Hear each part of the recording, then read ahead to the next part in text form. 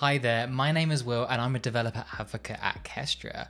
I'm going to be walking you through how to create HTTP requests directly in Kestra. Now in order to do that, we need to first understand what a HTTP request actually is. So let's jump into it. Put simply, a HTTP request is a message sent between a client and a server. Requests can both send and request data with common methods often known as get, post, put, and delete methods. We can use these directly inside of Kestra to interact with third-party systems to do powerful automations. Every time you make a request, you will receive a response from the server. Now, this response will contain a few different bits that will be helpful for understanding what we can do next. The first thing is a status code. This will tell us whether it was successful or it failed or something else. This is super useful for being able to narrow down what went wrong. A couple of common cases are status code 200, which means okay, as well as 404 not found. So you'd often see that one when you go to a web page that doesn't exist anymore. Along with status codes, there are also headers, and both requests and responses have these. These are really useful for being able to package extra information into your request and response, such as what client the user was using, as well as what kind of content you're sending. The last thing to note is a body. Now, not all requests and responses have bodies, but these are super useful for being able to package data into your request or response to send to the other end.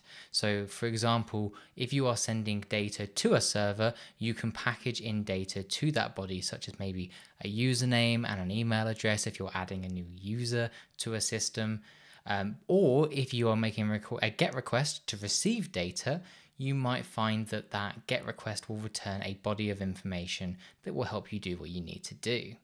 Now, let's have a look at a few examples of these requests in action and how we can use them. Now, there are multiple ways that you can make requests. One way is using your web browser. However, this can be a little bit fiddly if you're trying to make very specific requests by changing the headers and providing a body, which is where Postman, which is what we have here, can make things a little bit easier. As you can see here in Postman, I'm able to specify that I want to make specifically a post request and I want to add this URL and I can provide it with a specific JSON body as well. So if I click on body, raw, select the JSON type, and I can provide this body. Now, using dummyjson.com, we can sort of make fake requests to help us practice and figure out how this works. And so for making a post request, I want to add a new item and it's specified in the documentation that I should add a title and then name whatever I want. So in this case, I want to add a Kestra pen to the products list. So in order to do that, I just need to press send. And as we can see here, this is my response at the bottom here. I get my status code 200 and I can actually see the ID that it has assigned to my product. I can also see the headers too, which is really, really useful.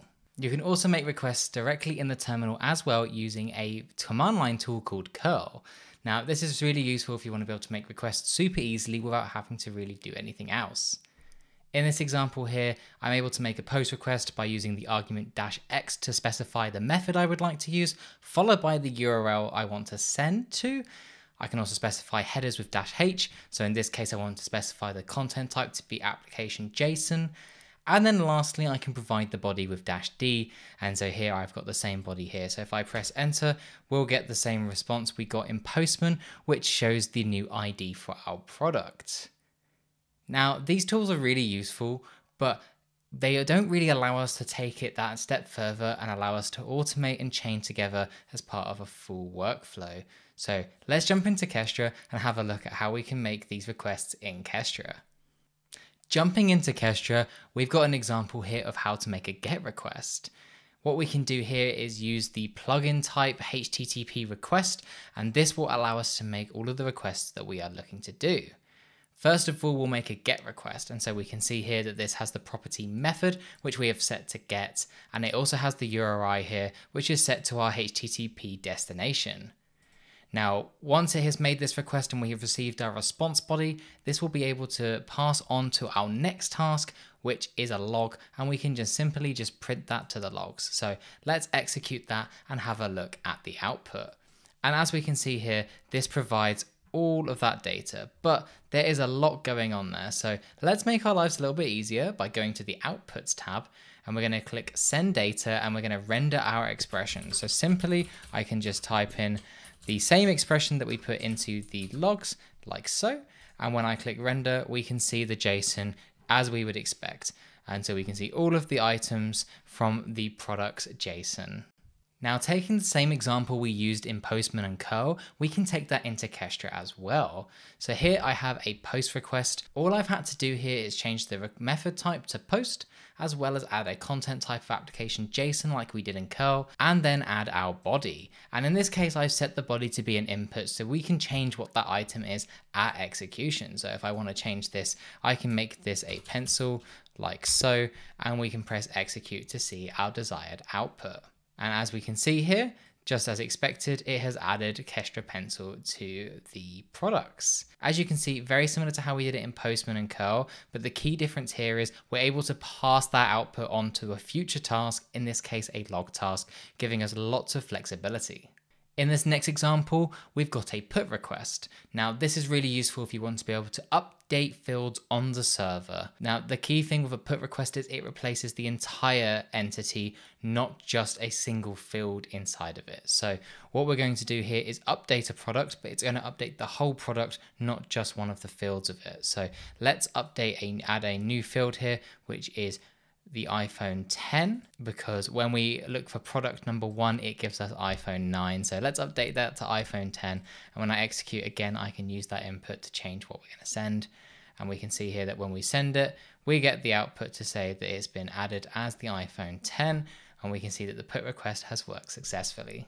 Lastly, we've got a delete method, and this is useful if you want to be able to delete things from the server. Now, very similar to our other examples, we're using an input here, and we've changed the method here to be delete. Now, this one looks most closely aligned to our get request, as there is no body involved.